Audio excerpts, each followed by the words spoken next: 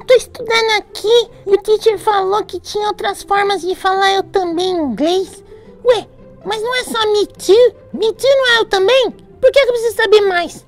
Ué, teacher, me ajuda aí, cara.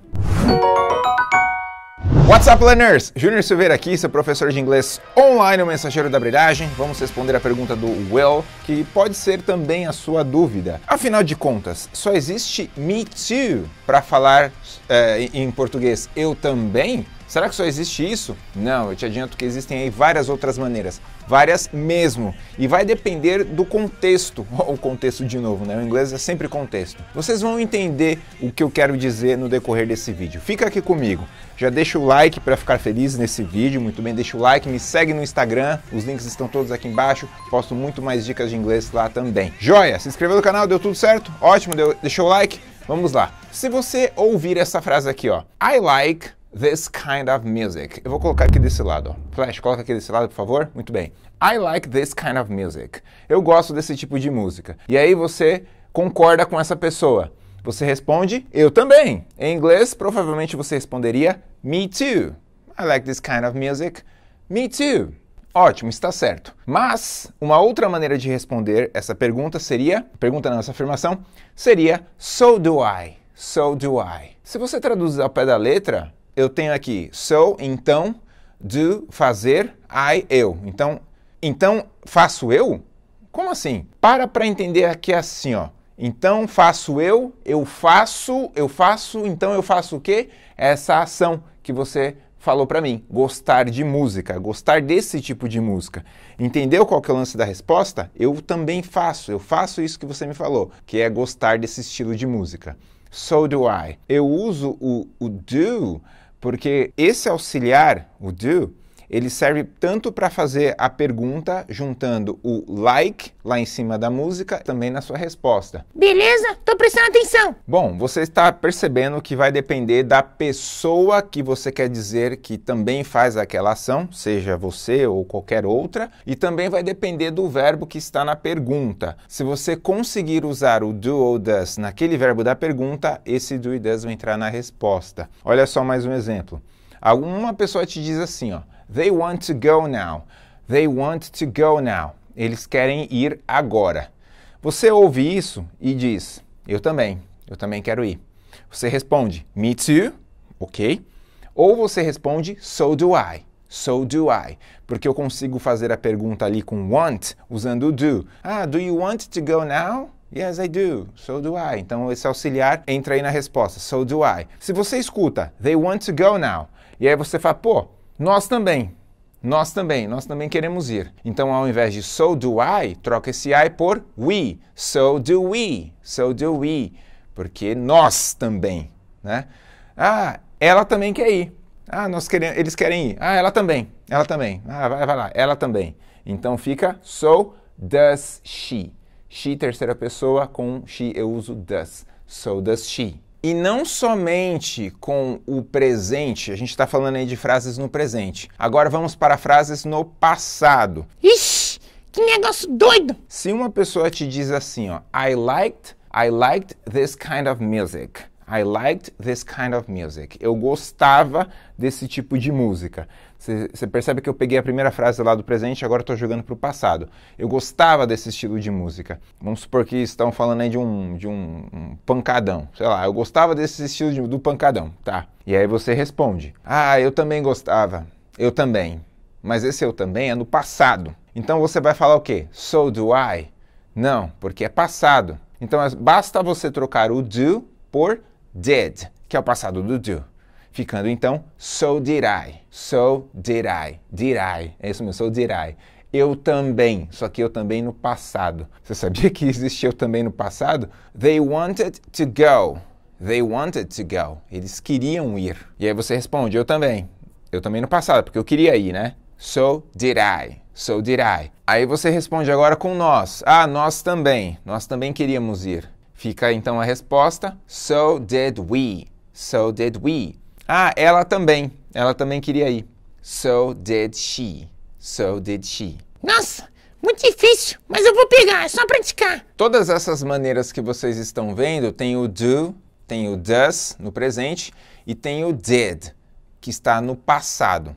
Somente com verbos, né, verbos auxiliares e tudo mais. Agora nós vamos ver exemplos com eu também, só que com o verbo to be, o famoso, incrível, maravilhoso verbo to be, que é o am, are e o is. Então, se alguém te joga uma frase assim, ó, I am an English student.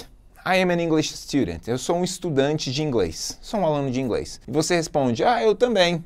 Eu também sou. Você vai falar me too? Vai, tudo bem, pode falar me too. Mas você também pode falar so, so do I? Não, não, não é mais so do I e sim so am I.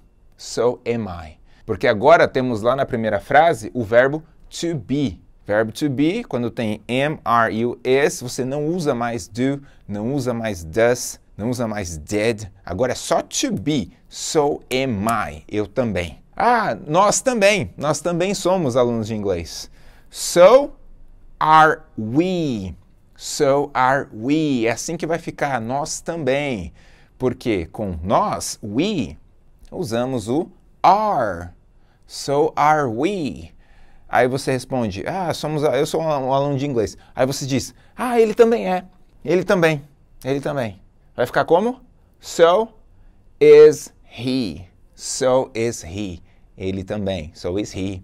So is she. Ela também. Vai mudando de acordo com o verbo to be aí, ó. A pessoa também. Se você escuta essa frase aqui, um, um, outro exemplo. He is in our house for a week.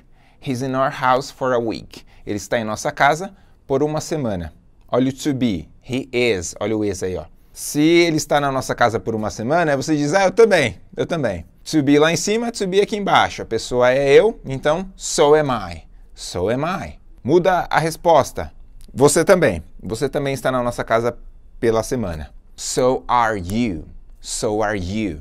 Porque com você, you, usamos o to be, are. E não apenas com o to be no presente, is, are, o am, mas também com o to be no passado. E você se lembra que o to be no passado vem em duas formas. Ele vem com was e vem com were.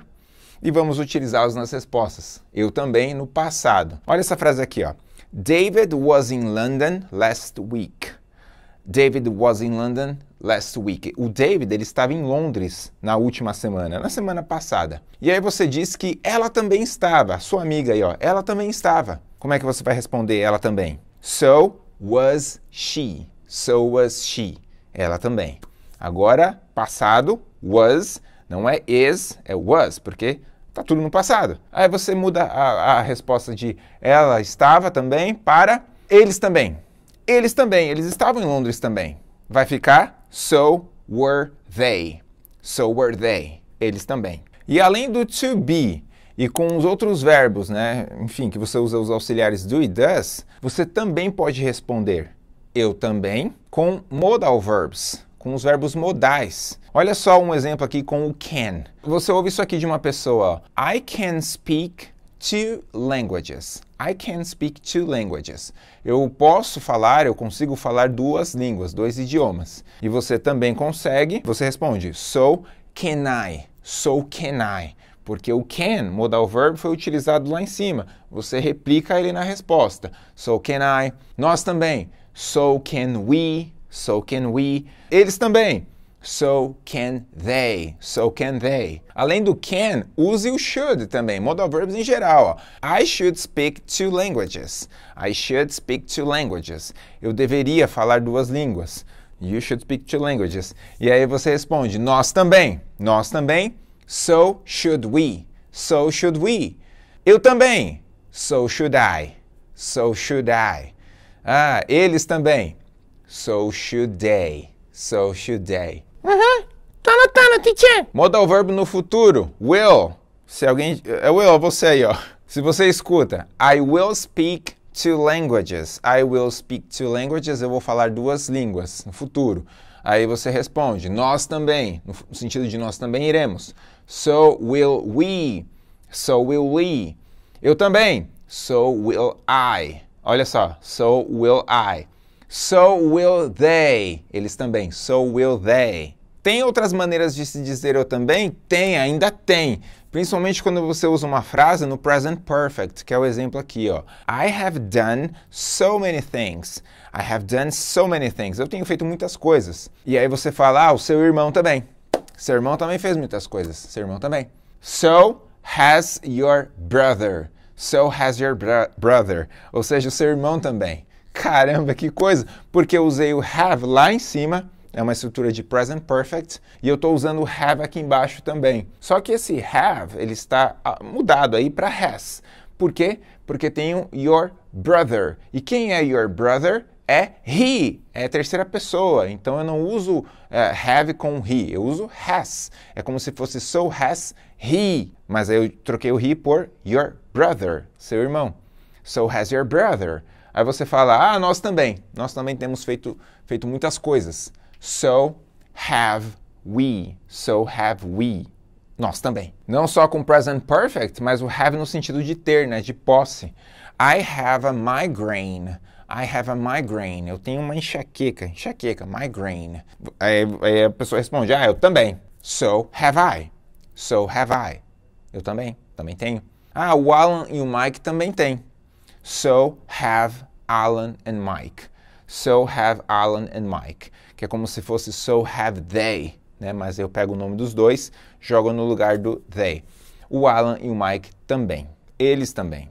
Então você percebeu que tem tantas maneiras de dizer eu também, ele também, nós também, é, ela também, é, todo mundo também, é todo mundo também. Tem muitas coisas, muitas maneiras. Só que vai depender do que? Do contexto, do que falaram para você e de quem vai responder, aliás, de como que você vai responder esse também. Se é eu também, você também, ele também, ela também, depende de muitas coisas. E aí você tem que prestar atenção na pergunta que foi feita, se tem o auxiliar ali para você jogar o mesmo auxiliar na, na, resposta, ou se foi um verbo que você consegue uh, usar o auxiliar do, ou does, ou did para fazer pergunta. E preocupe-se também com o passado, passado dos verbos, o verbo to be, porque tudo isso influencia na hora de você uh, responder. Então você pode achar mais fácil depois desse vídeo continuar falando me too, mas lembre-se que praticando, colocando né, ali em prática, tentando tirar esse, arrancar esse me too e jogar o so do I, so can I, so will I, vai deixar seu inglês mais polido, mais bonito, mais elaborado